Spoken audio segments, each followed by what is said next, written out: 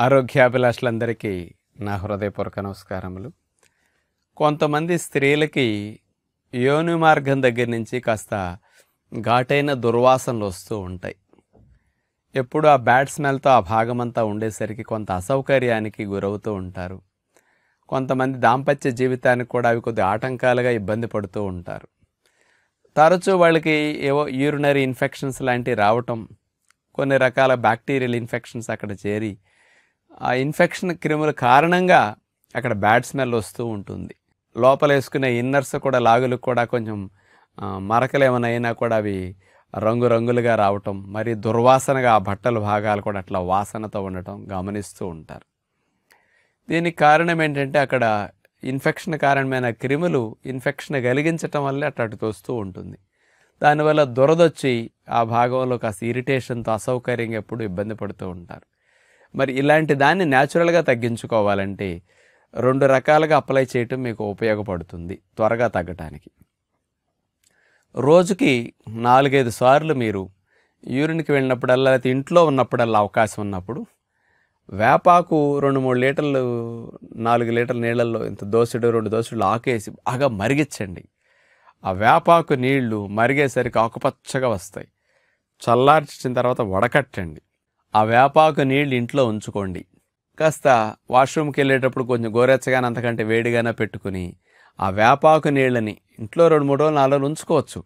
ఆ నీళ్ళని వేడి చేసుకుని గోరెచ్చుకున్నప్పుడు ఆ భాగాల్లో క్లీనింగ్కి కాస్త చేతులు వేళ్ళు లోపల పెట్టుకుని లోపల కంటూ ఈ నీళ్ళు వేసి శుభ్రంగా క్లీన్ చేసుకుంటే అక్కడ ఉండే బ్యాక్టీరియల్ ఇన్ఫెక్షన్స్ బాగా తగ్గటానికి బాగా ఉపయోగపడుతుంది వేపాకు నీరు. ఇలా చేయటం. ఇక రెండవది టూ ఎంఎల్ త్రీ ఎంఎల్ కానీ లావెండర్ ఆయిల్ తీసుకుని దానికి ఒక ఫైవ్ ఎంఎల్ కొబ్బరి నూనె కలిపేసేసి ఈ ఆయిల్ని నైట్ టైం పడుకునేటప్పుడు శుభ్రంగా కడిగేసుకుని ఆ భాగాలు వేప నీరుతో ఈ ఆయిల్ అప్లై చేసేసేసి పడుకోండి.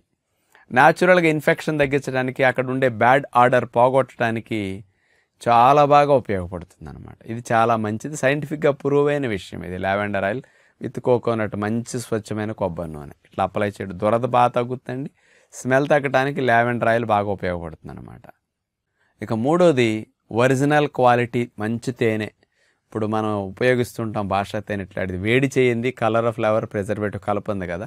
ఇలాంటి ప్యూర్ హనీ కనుక మీకు ఎప్పుడన్నా అందుబాటులో ఉంటే రోజుకు రెండు సార్లన్నా ఉదయం పూట స్నానం చేసిన తర్వాత ఎప్పుడన్నా వేళ్ళు పెట్టేసేసి ఆ వ్యాజన మార్గంలో ఈ స్వచ్ఛమైన తేనె ఒకటి రెండు స్పూన్ లోపల పూసేసుకొని ఇన్నర్లు అట్లాంటివి వేసేసుకుంటే ఏ విధమైన ఇబ్బంది ఉండదు. అది వచ్చినా ఏదైనా కడుక్కున్న క్లియర్ అయిపోతుంది మరకపడదు తేనెకి.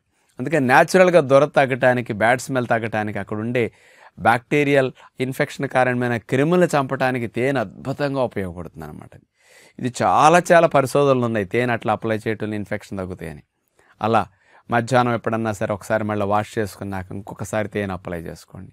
నైట్ కింద చెప్పినట్టు లావెండర్ ఆయిల్ అట్లా అప్లై చేసుకుంటే మంచిదనమాట ఇలా చేసుకుంటూ కొంచెం మరీ స్మెల్ ఎక్కువ ఉండి దొరదలు ఎక్కువ ఉండి ఇన్ఫెక్షన్ ఎక్కువ ఉండి ఇబ్బంది పడుతూ ఉంటే ఒక ఐదు ఆరు రోజులు వారం రోజులు స్త్రీలు జ్యూస్ ఫాస్టింగ్ చేయటం. తర్వాత ఒక రోజు రెండు రోజులు ఫ్రూట్ ఫాస్టింగ్ చేసి అప్పుడు ఫుడ్లోకి వెళితే న్యాచురల్గా ఇమ్యూనిటీ బూస్ట్ అవుతుంది ఫ్రూట్ ఫాస్టింగ్లో. ఆ ఇన్ఫెక్షన్ దొర తగ్గటానికి ఆ వాసన తగ్గటానికి కూడా న్యాచురల్గా ఉపయోగపడుతుంది అనమాట ఇలా చేసుకుంటూ తర్వాత కాస్త కాటన్ లోదుస్తులు వాడుకోవటం. రెగ్యులర్గా అక్కడ బాగా క్లీన్ చేసుకోవటం. ఇలాంటి పరిశుభ్రతను పాటించటం గాలి ఆడేటట్టు కొద్దిగా ఎక్కువ చూసుకోవటం ఇన్ఫెక్షన్ తగ్గే వరకు. ఇలాంటివి ఎన్ని చేయగలిగితే చాలా మంచిదని విజ్ఞప్తి చేస్తూ నమస్కారం.